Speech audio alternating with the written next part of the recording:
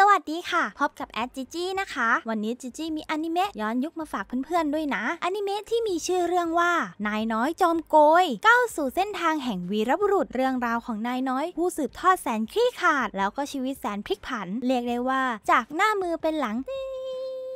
เรื่องราวจะเป็นยังไงพวกเรามารับชมพร้อมๆกันเลย แต่ก่อนไปรับชม ฝากเพื่อนๆที่อยากกดไลค์ กดแชร์ กด Subscribe เพื่อเป็นกำลังใจให้แอดมินและทีมงานด้วยนะคะ อ๋อๆอย่าลืมกดกระดิ่งแจ้งเตือนด้วยนะคะ จุ๊บๆ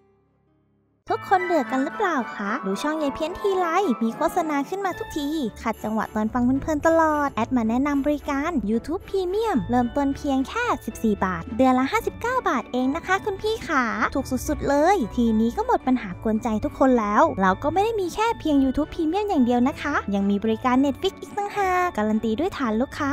16,000 คน สมัครได้ง่าย ๆ เพียงแค่ add LINE แอดดักพีเอ็มได้เลยนะคะ คุณพี่ขาหรือสแกนที่หน้าจอได้เลย และที่สำคัญนะคะ มีบริการแจ้งเตือนหมดอายุอัตโนมัติหากใกล้หมดอายุ ต่ออายุเพียงราคาเดียวเลยค่ะ ไม่มีบวกเพิ่ม สนใจก็ add LINE แอดดักพีเอ็มได้เลยนะคะ คุณพี่ขา เปิดตอนที่ 10 มา แล้วภาพก็ได้ตัดมาที่นากายามะโนโช ในตอนนี้นายน้อยโทคิยุกิเนี่ยกำลังเข้าพิธีสวดศพของผู้ที่เสียชีวิตดูเหมือนว่า ผลงานจากที่เขาเนี่ยได้ปกป้องหมู่บ้านทำให้นักรบหลายคนเนี่ยได้สูญเสียชีวิตไปในการรบครั้งนี้ ซึ่งตอนนี้นายน้อยเนี่ยก็ได้แต่คิดกับตัวเองว่าการที่จะเป็นนายพลเรื่องราวแบบนี้มันต้องเกิดขึ้นในชีวิตจริง เพราะฉะนั้นทำใจให้ชินซะและในขณะที่นายน้อยเนี่ยกำลังเข้าพิธีอยู่นะคะ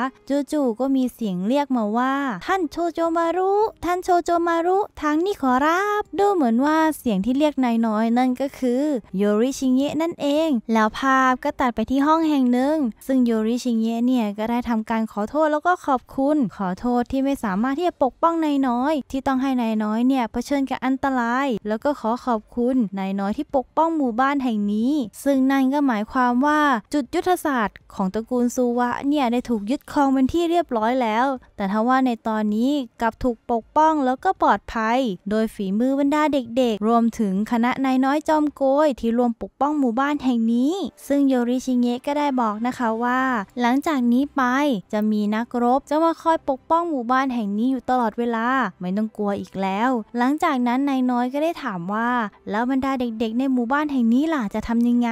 ซึ่งโยริชิเงะก็ได้บอกว่า เรื่องนั้นไม่ต้องเป็นห่วงครับ ทางศาลเจ้าตระกูลสุวะเนี่ยจะรับดูแลเด็กๆทั้งหมดเอง ซึ่งสถานการณ์ในหมู่บ้านตอนนี้ เด็กๆทุกคนเนี่ยก็ได้ทำพิธีสวดศพให้กับพ่อแม่ของตัวเองที่ได้จากไปแล้วนะคะ ซึ่งหลังจากนี้พวกเขาทุกคนเนี่ยจะได้ไปอยู่ที่ศาลเจ้าตระกูลสุวะนั่นก็ทำให้นายน้อยเนี่ยถึงกับโล่งอกไปเลยนะคะ นอกจากจะปกป้องหมู่บ้านแห่งนี้ได้แล้ว ยังได้บริวารที่เก่งกาจมาอีกหนึ่งคน นั่นก็คือฟุบุกินั่นเอง แต่หลังจากคุยธุระเสร็จ หลังจากนั้นเองโยริชิเงะเนี่ยก็ได้ทำการบอกความลับของตัวเอง ให้กับนายน้อยได้ฟังนะคะ เรื่องก็มีอยู่ว่าพลังเทพของเขานั้นได้หายไป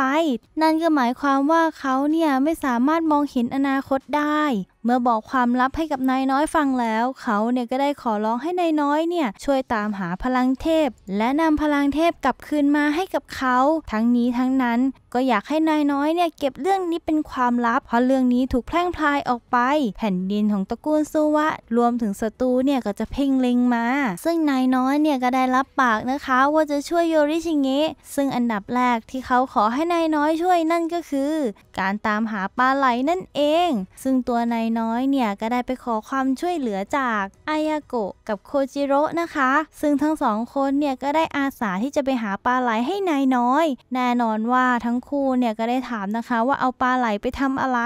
ซึ่งในใจนายน้อยเนี่ยได้แต่คิดว่าอยากจะบอกความลับนี้ซะเหลือเกิน ซึ่งนายน้อยเนี่ยก็อดทนอดกลั้นสุดๆไปเลย หลังจากได้ปลาไหลมาเป็นที่เรียบร้อยแล้วก็รีบนำปลาไหลเนี่ยไปให้โยริชิเงะเมื่อโยริชิเงะได้ปลาไหลนะคะ ทันทีนั่นเอง เขาเนี่ยก็นำปลาไหลมาย่าง แล้วก็ทำเป็นข้าวหน้าปลาไหลแอดจีจีเห็นแบบนี้แล้วหิวสุดๆไปเลย อยากกินง่าซึ่งในขณะที่ทำข้าวหน้าปลาไหลนะคะนายน้อยก็ได้ถามโยริชิเงะว่าทำไมต้องเป็นปลาไหลน่ะ ซึ่งโยริชิเงะก็ได้แต่บอกว่าว่า ก็ครั้งที่แล้วตอนพลังหายไป กินข้าวหน้าปลาไหลเสร็จปั๊บพลังเทพเนี่ยก็ได้กลับคืนมา แต่หลังจากที่โยริชิเงะกินข้าวกล่องหมดไป ดูเหมือนว่าเขาเนี่ยจะมีพลังเต็มเปี่ยม แต่ทว่าพลังเทพก็ไม่ได้กลับมา หลังจากนั้นเขาเนี่ยก็ได้ขอร้องนายน้อยอีกหนึ่งครั้ง นั่นก็คือการตามหาต้นหอมป่านั่นเอง ซึ่งนายน้อยเนี่ยก็ไปขอให้บรรดามิโกะช่วยตามหาต้นหอมเหล่านั้น ซึ่งบรรดามิโกะสาวๆเนี่ยก็เต็มใจที่จะช่วยนายน้อยนะคะ และหลังจากนั้นไม่นานบรรดาต้นหอมป่าเนี่ยก็ได้นำมาให้นายน้อยนะคะ ส่วนนายน้อยก็ได้ส่งต่อต้นหอมให้กับโยริชิเงะซึ่งดูเหมือนว่ากลิ่นเนี่ยมันจะรุนแรงเอามากๆเลยทำให้นายน้อยเนี่ยแทบจะอ้วกแตกอ้วกแตน แต่สุดท้ายแล้วเมื่อกินหมดไปก็พบว่า พลังเทพเนี่ยก็ไม่ได้กลับคืนมานะคะ และนายน้อยก็ยังคงช่วยโยริคิเงะตามหาวิธีเอาพลังเทพกลับคืนมา และหลังจากนั้นเขาเนี่ยก็ตะเวนตามหาสิ่งของต่างๆ จนทำให้บริวารแล้วก็ผู้ติดตามเนี่ยเกิดอาการสงสัยนะคะ เพราะตัวนายน้อยเนี่ยได้ไปตามหาเชือกฟางรวมถึงชุดมิโกะในศาลเจ้าตระกูลสุวะ ซึ่งหลังจากที่เขาเนี่ยรวบรวมอุปกรณ์มาทั้งหมด ก็มาทำเป็นหุ่นฟางใส่ชุดมิโกะนั่นเอง ซึ่งแน่นอนว่าตลอดการทำหรือรวบรวมสิ่งของเนี่ยก็ตกอยู่ในสายตาบริวารของคณะนายน้อยจอมโกยทุกคน แน่นอนว่าทุกคนเนี่ยได้สอดส่องพฤติกรรมนายน้อย แล้วก็ได้จินตนาการไปไกลกันเลยนะคะ ซึ่งตัวนายน้อยเนี่ยหลังจากทำชุดมิโกะหรือหุ่นฟางมิโกะเสร็จเรียบร้อยแล้ว เขาเนี่ยก็ดันมาได้ยินบรรดาบริวารคุยกันว่า ดูเหมือนว่านายน้อยเนี่ยจะมีอาการเป็นคนโรคจิต ส่วนเจ้าคนที่ผสมลงมากที่สุดนั่นก็คือเจ้าเกนบะนั่นเอง เจ้าเกนบะได้บอกว่า พวกชนชั้นสูงก็แบบนี้แหละ เลี้ยงลูกเลี้ยงหลานออกมาเป็นโรคจิตกันหมด ถือว่าเป็นเรื่องปกติในชนชั้นสูงน่ะ และหลังจากนั้นทุกคนเนี่ยก็เอออหอหมกไปเลยนะคะเพราะไม่มีใครรู้ความจริงสักคนหนึ่งหลังจากนั้นฟุบุกิก็ได้แต่บอกว่า ถึงนายน้อยจะเป็นโรคจิตก็ตาม แต่พวกเราเนี่ยก็เป็นบริวารที่ซื่อสัตย์ความโรคจิตของนายน้อย มันไม่ได้ส่งผลทำให้ การปกครองของนายน้อยแย่ลง เพราะฉะนั้นพวกเราเนี่ยก็จะติดตามนายน้อยตลอดไป หลังจากนั้นทุกคนเนี่ยก็เอออตามฟุบุกินะคะ ซึ่งนายน้อยที่ยืนฟังอยู่ห่างๆก็ได้แต่ยิ้มแห้งไป ดูเหมือนว่าเขาเนี่ยจะตัดสินใจช่วยโยริชิเงะจนทำให้ภาพลักษณ์ตัวเองเนี่ยดูแย่ลงเอามากๆเลย หลังจากฟังบริวารพูดจบแล้ว นายน้อยเนี่ยก็ได้กำหมัดนะคะ แล้วก็แบกหุ่นฟางมิ โกะเท่าขนาดคนจริงเนี่ย กลับไปหาโยริชิเงะแน่นอนว่าโยริชิเงะเนี่ยก็กลายเป็นสนามอารมณ์นายน้อยเลย เพราะเขาเนี่ยบอกแล้วว่าจะไม่เอาด้วยกับโยริชิเงะแล้ว ดูเหมือนว่าเขาจะกลายเป็นโรคจิตในสายตาลูกน้องไปแล้ว ซึ่งโยริชิเงะก็ได้แต่บอกว่ามันเป็นเรื่องปกติของชนชั้นสูง เพราะฉะนั้นการที่เราเนี่ยมีเรื่องลึกลับหรือรับลมคมใน มันจะทำให้เราดูน่าเกรงขาม ซึ่งนายน้อยเนี่ยก็ไม่เห็นด้วยนะคะ แล้วก็โกรธเอามากๆ เลย จนสุดท้ายแล้ว โยริชิเงะก็ได้บอกว่ามีอีกหนึ่งวิธีนะขอรับ นั่นก็คือการไปเอาน้ำศักดิ์สิทธิ์ที่หลังภูเขา ซึ่งนายน้อยเนี่ยก็ได้แต่บอกว่าแล้วทำไมไม่บอกเรื่องนี้ตั้งแต่แรกเล่า หลังจากนั้นนายน้อยเนี่ยก็ได้นำกระติกใส่น้ำนะคะ หรือขวดไม้ไผ่เนี่ยที่เตรียมเก็บน้ำเดินไปยังสถานที่เก็บน้ำศักดิ์สิทธิ์ซึ่งแน่นอนว่าตลอดทางเนี่ยก็บ่นงึมงำไปตลอดเลย แต่ถ้าว่าในใจก็ได้แต่คิดว่าพลังเทพเนี่ยเป็นสิ่งที่มีจริงหรือเปล่า ซึ่งในขณะนั้นเองระหว่างที่นายน้อยกำลังเดินทางไปนะคะ ก็ปรากฏละอองสีทองเนี่ยติดตัวอยู่ตลอดเวลาวับวับแวบแวบและขณะที่ใกล้ถึงแหล่งน้ำนั้น ดูเหมือนว่าเขาเนี่ยจะได้ยินเสียงบางอย่าง ทันทีนั่นเองนายน้อยก็รู้สึกว่าในป่าเนี่ยมันเปล่งประกายซะเหลือเกิน หลังจากนั้นเขาเนี่ยก็ได้รีบวิ่งตรงไปยังแม่น้ำศักดิ์สิทธิ์และเมื่อไปถึงม่น้ำศักดิ์สิทธิ์ก็พบว่าในตอนนี้น้องชิสุกุเนี่ยกำลังไล่ลำระบำบูชา บวงสรวงแด่เทพเจ้าทวงท่าของเธอเนี่ยมันเปล่งประกายสุดๆราวกับมีแสงเปล่งประกายออกมา ซึ่งหลังจากที่น้องชิสุกุเนี่ยหันมาเห็นนายน้อยนะคะ เธอก็ได้ทักทาย ท่านพี่มาทำอะไรที่นี่หรอคะ ซึ่งนายน้อยก็ได้แต่บอกว่ามาหาน้ำกินน่ะ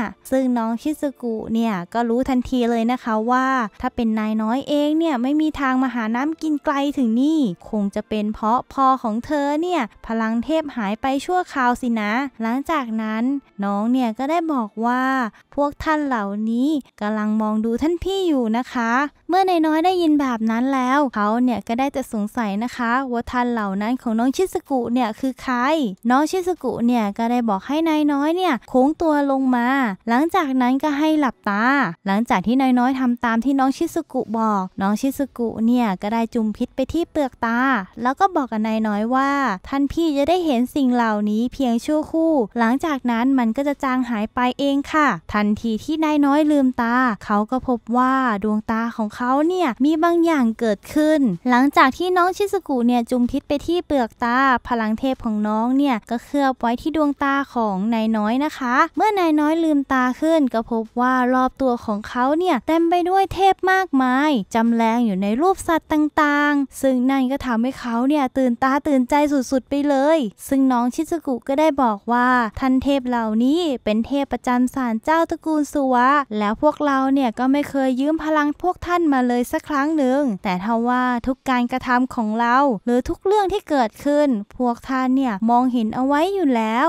และหลังจากนั้นนายน้อยเนี่ยก็ทำการตักน้ำนะคะ และน้องชิสกุเนี่ยก็ได้ทำพิธีบางอย่าง หลังจากนั้นก็ได้จุมพิษไปที่กระบอกไม้ไผ่ และทันทีที่น้องชิสกุทำพิธีเสร็จ ดวงตาของนายน้อยก็กลับมาเป็นปกติแล้วนะคะ ภาพต่างๆ ที่เคยเห็นก่อนหน้านี้ก็กลับกลายวันไม่เห็น พื้นที่ที่อยู่ตรงหน้าเนี่ยก็กลับเป็นโล่งเปล่าไปเลย บรรดาสัตว์เทพต่างๆ เขาเนี่ยก็ไม่เห็นแล้ว และนายน้อยก็ได้คิดว่านี่คงเป็นเหตุผลที่โยริชิงเงะเนี่ยให้เขามาตักน้ำจากดิ์สิทธิ์ที่ในสถานที่แห่งนี้ แล้วก็ได้เจอกับน้องชิสกุ และน้องชิสกุเนี่ยก็ได้ทำให้นายน้อยเห็นในสิ่งที่คนปกติเนี่ยไม่เคยเห็นมาก่อน ดูเหมือนว่าเรื่องนี้จะไม่ใช่เรื่องบังเอิญซะแล้ว และหลังจากนั้นเด็กทั้งสองคนเนี่ยก็ได้เดินทางกับศาลเจ้านะคะ และหลังจากที่เด็กทั้งสองคนเนี่ยเดินทางกับศาลเจ้า ก็ดูเหมือนว่าพลังเทพเนี่ยได้เปล่งประกายเป็นสีทอง แต่ถ้าว่าก็ดูเหมือนพลังเทพเนี่ยจะถูกสะกดทำให้มันเนี่ยผันผวนไปมา แล้วภาพก็ตัดมาในเกียวโต อาชิคางะที่เป็นนายพลอยู่ในเกียวโตตอนอนี้เขาเนี่ยกำลังวาดรูปบางอย่าง และรูปนั้นนั่นก็คือ พระพุทธองค์นั่นเอง และโดยเหมือนว่าภาพวาดของเขาเนี่ยจะเต็มเปี่ยมไปด้วยพลังศักดิ์สิทธิ์นะคะ และหลังจากที่เขาวาดรูปเสร็จแล้วเขาเนี่ยก็ได้ตะโกนให้บริวารไปตามตัวทาดาโยชิทาคาอุจิ หลังจากนั้นบริวารเนี่ยก็ได้รีบไปตามตัวทาดาโยชิมาทันทีเลยนะคะ แล้วภาพก็ตัดมาที่ด้านใดด้านหนึ่งของปราสาทในโตเกียวนะคะ ในตอนนี้ทาดาโยชิเนี่ยกำลังคุยกับบริวารของตัวเองอยู่ และทันใดนั่นเอง อาชิคางะเนี่ยก็ได้วิ่งไปหาน้องชายของเขานะคะ ดูเหมือนว่าพี่น้องเนี่ยจะสนิทกันเป็นอย่างมาก และเหตุผลที่เขาเนี่ยเรียกทาดาโยชิมา ก็เพราะว่าเขาเนี่ยมีลางสังหรณ์อยากให้ทาดาโยชิเนี่ยไปเป็นกำลังเสริมที่คามามุระ แล้วทาดาโยชิเนี่ยก็ได้ถามพี่ชายของเขาว่า สัญชาตญาณมันเตือนหรือขอรับ ซึ่งอาชิคางะเนี่ยก็ได้บอกว่ารู้สึกเหมือนว่าบริวารที่เหลือรอดของโฮโจเนี่ยใกล้จะก่อความวุ่นวายแล้วล่ะ เพราะฉะนั้นเจ้าเป็นคนที่ข้าไว้ใจที่สุด โดยเฉพาะมันสมองที่ฉลาดอย่างเจ้า มันต้องแก้ไขสถานการณ์ได้อย่างแน่นอน อันที่จริงแล้วทาดาโยชิเนี่ยก็เหมือนสมองที่คอยคิดแผนการให้กับพี่ชายตัวเอง คอยยืดหยุ่นด้านสถานการณ์ต่างๆ เรียกได้ว่าเป็นเสนาธิการที่อาชิคังะเนี่ยแทบจะขาดไม่ได้เลยนะคะ ซึ่งในตอนนี้ทาดาโยชิเนี่ยก็ได้บอกว่าทาเกียวโตและคามามุระ เป็นฐานของเราสองพี่น้อง ก็มาทำให้ตระกูลนักรบทั้งประเทศมาทำตามอาชิคังะกันเถอะครับ หลังจากนั้นทั้งสองคนเนี่ยก็ประสานมือกันนะคะ และดูเหมือนว่าทาดาโยชิเนี่ยจะสามารถคิดแผนที่จะปกป้องคามะคุระได้ประมาณร้อยแผนเลยล่ะ ซึ่งเขาเนี่ยก็ได้บอกความคิดนี้แก่พี่ชายเขา ซึ่งอาชิคังะเนี่ยก็ได้บอกว่าเจ้าเนี่ยหลอกพี่ไม่ได้หรอก คิดตั้งร้อยแผนได้ยังไง อันที่จริงมีแค่ 14 แผนใช่ไหม ซึ่งน้องชายของเขาเนี่ยแทบจะตกใจเลยนะคะ ถ้าเรียกว่าเป็นสัญชาตญาณก็คงจะเกินไปแล้วถ้ารู้จริงขนาดนี้ และสองคนพี่น้องนี้จะเป็นศัตรูที่น่ากลัวเป็นอย่างมากสำหรับนายน้อยโทคิยุกิ แต่เท่าว่าอีกตั้งหนึ่งปีแน่ก่อนที่สงครามจะเกิดขึ้น และหลังจากที่สองคนพี่น้องเนี่ยคุยกันเสร็จแล้ว อาชิคางะเนี่ยก็ได้เรียกทาดาโยชิ มาดูผลงานที่ตัวเองเนี่ยวาดขึ้นนะคะ ซึ่งเขาเนี่ยก็ได้กวักมือยิกยิกให้น้องชายเนี่ยมาดูผลงานของตัวเองทันทีที่ทาดาโยชิเห็นผลงานที่อาชิคางะเนี่ยวาดเขาเนี่ยก็ตกตะลึงไปเลย และหลังจากนั้นททาดาโยชิก็ได้บอกว่าตัวเขาเนี่ยมีแผ่นไม้ดูเหมือนว่าจะเป็นแผ่นไม้อย่างดี เหมาะที่จะทำกำแพงให้กับห้องแห่งนี้ โดยขอแลกกับรูปพระพุทธองค์ที่ท่านพี่เนี่ยได้วาดขึ้นนะขอรับ ดูเหมือนว่าอาชิคางะเนี่ยจะตกลงนะคะ แล้วก่อนที่จะออกไป เขาเนี่ยได้บอกกับทาดาโยชิว่ายังไงเรื่องคามาคุระเนี่ยก็ฝากเจ้าด้วยละหลังจากนั้นทาดาโยชิเนี่ยก็ดูเหมือนว่าเขาเนี่ยจะพอลมหายใจออกมา ในตอนนี้ในความคิดของทาดาโยชิก็ได้คิดว่าพี่ชายของตัวเองเนี่ยเริ่มห่างไกลความเป็นคนเข้าไปทุกทีแล้ว และเมื่อเขาเนี่ยมองเข้าไปในห้องก็พบภาพวาดที่อาชิคางะเนี่ยวาดนะคะ ก็คือรูปพระพุทธองค์ ถูกมารกำลังกินนั่นเอง ดูเหมือนว่าหลังจากที่อาชิคางะเนี่ยออกไปไกลแล้ว เขาก็ได้ตะโกนเรียกให้บริวารนำรูปที่อาชิคางะวาดไปทำลายทิ้งทั้งหมดซะ หากเกิดข่าวลือคงจะไม่ดีแน่ แล้วภาพก็ตัดไปที่นายน้อย ในตอนนี้นายน้อยเนี่ยได้นำน้ำศักดิ์สิทธิ์ไปให้กับโยริชิเงะเป็นที่เรียบร้อยแล้วนะคะ หลังจากที่โยริชิเงะดื่มน้ำศักดิ์สิทธิ์เข้าไป หลังจากนั้นไม่นาน เขาเนี่ยก็ได้พลังเทพกลับคืนมา แล้วก็พร้อมกับหัวล้อสดใสเลยว่า ความลับของเขาเนี่ยถูกน้องชิสกุรู้เป็นที่เรียบร้อยแล้ว ซึ่งนายน้อยเนี่ยก็ได้ถามว่าชิสกุเนี่ยคือใครกันแน่ และหลังจากนั้นเขาเนี่ยก็ได้เล่าเรื่องราวปฏิหารที่น้องชิสกุเนี่ยทำให้เขาได้เห็นเทพมากมาย ซึ่งโยริชิเงะก็ได้หัวเราะนะคะ แล้วก็ได้บอกว่าเรื่องของชิสกุชิสกุจะเป็นคนบอกเองเมื่อถึงเวลาไม่ต้องรีบไปหรอกนะ และหลังจากนั้นโยริชิเงะเนี่ยก็ได้อธิบายพลังแห่งเทพ หรือความสัมพันธ์ของเทพเจ้าให้กับนายน้อยฟัง เพราะว่าในตอนนี้อิทธิพลที่ยิ่งใหญ่ก็จะมีตัวตนไม่ได้ หรืออาจจะมีตัวตนได้ และที่สำคัญพลังแห่งเทพเนี่ยก็จะหมุนเวียนเปลี่ยนไปตามพลังแห่งยุคสมัยนั่นเอง หากมีเมืองมาก แล้วก็ไร้พื้นที่ไร้ศรัทธา พลังเทพเหล่านี้ก็จะหายไป แต่ถ้าเรามีพลังเทพในตอนนี้ก็เหมือนกับว่า เรามีหูมีตาที่ศัตรูเนี่ยมองไม่เห็น ซึ่งตรงกันข้าม เราเนี่ยจะสามารถเห็นศัตรูได้ แม้กระทั่งศัตรูที่หลบซ่อนอยู่ในความมืดก็ตาม ดูเหมือนว่าโยริชิเงะจะให้ความสำคัญกับพลังเทพของเขาเป็นอย่างมากนะคะ ซึ่งพลังแห่งเทพนี้นั้นก็ต้องเกิดจากภาวนาและศรัทธา แน่นอนว่ามันจะไม่เกิดขึ้น ถ้าคนเนี่ยไร้ศรัทธา หลังจากนั้นโยริชิเงะเนี่ยก็ได้ใช้ฝ่ามือแตะไปที่แผ่นน้ำแข็งนะคะ และหลังจากนั้นไม่นาน แผ่นน้ำแข็งก็เกิดปะทุขึ้นทำให้เกิดภูเขาหิมะขนาดย่อม น้ำแข็งของทะเลสาบสุวะแยกเป็นสองส่วนแล้ว นายน้อยเนี่ยตื่นตะลึงเป็นอย่างมากเลยกับปาฏิหาริย์ที่โยริชิเงะเนี่ยทำให้เกิดขึ้น ซึ่งในตอนนี้โยริชิเงะก็ได้บอกว่า ทีนี้ชาวบ้านทุกคนจะรู้แล้วว่าเมียวจินของศาลเจ้าสวะเนี่ยได้สร้างปาฏิหาริย์ขึ้นแล้ว แต่มันก็ต้องขึ้นอยู่กับสายตาคน ถ้าวันใดวันหนึ่ง ส่วนพลังของมนุษย์ที่เพิ่มมากขึ้น พลังของเทพก็จะหายไปนะขอรับ ซึ่งเมื่อได้ยินแบบนั้นแล้ว นายน้อยเนี่ยก็ตกใจเป็นอย่างมากเลยนะคะ เขาก็ได้ถามโยริชิเงะว่าท่านโยริชิเงะพูดแบบนี้ นั่นก็หมายความว่าสักวันหนึ่งโยริชิเงะจะหายไปงั้นหรอ ซึ่งทันใดนั่นเองจู่ๆแสงในหัว แสงแห่งเทพก็ประกายออกจากตัวโยริชิเงะนะคะทำให้นายน้อยเนี่ยถึงกับปิดตาแทบไม่ทัน ดูเหมือนว่าพลังเทพจะปะทุขึ้นในตัวโยริชิเงะอีกครั้งหนึ่ง และเขาเนี่ยก็อันเลิศเป็นอย่างมากเลย และหลังจากนั้นโยริชิเงะเนี่ยก็ได้ชวนนายน้อยเล่นปลาหิมะนะคะเพราะหลังจากนี้ไปหิมะก็จะละลาย และที่สำคัญสงครามเนี่ยก็ใกล้เข้ามาแล้ว และหลังจากที่โยริชิเงะได้พลังเทพคืนมาแล้ว นายน้อยเนี่ยก็ได้บอกให้โยริชิเงะกลับไปจัดการกับการละเล่นของตัวเองให้เรียบร้อยซะ แล้วภาพก็ตัดมาในป่าแห่งหนึ่งนะคะ ซึ่งในตอนนี้คณะนายน้อยจอมโกย รวมถึงคนใช้ในศาลเจ้าตระกูลสุวะ ซึ่งตอนนี้พวกเขาเนี่ยก็รับรู้แล้วนะคะว่าการที่นายน้อยทำตัวแปลกๆ ไปรวบครอมของมา นั่นก็เพราะว่านายน้อยเนี่ยถูกโยริชิเงะใช้ให้ไปทำนั่นเอง และในตอนนี้ความลับทุกอย่างของโยริชิเงะก็ถูกเปิดเผยแล้วนะคะ แล้วในตอนนี้ตัวเขาเนี่ยกำลังเล่นอะไรแปลกๆ กับหุ่นฟาง ที่เขาเนี่ยได้สั่งให้นายน้อยทำขึ้นมา และในตอนนี้ทุกคนเนี่ยได้แต่ยืนมองภาพนั้นด้วยสีหน้าที่แอดจีจีเนี่ยอธิบายไม่ถูกเลยนะคะ แล้วภาพก็ก็ตัดจบตอนที่ 10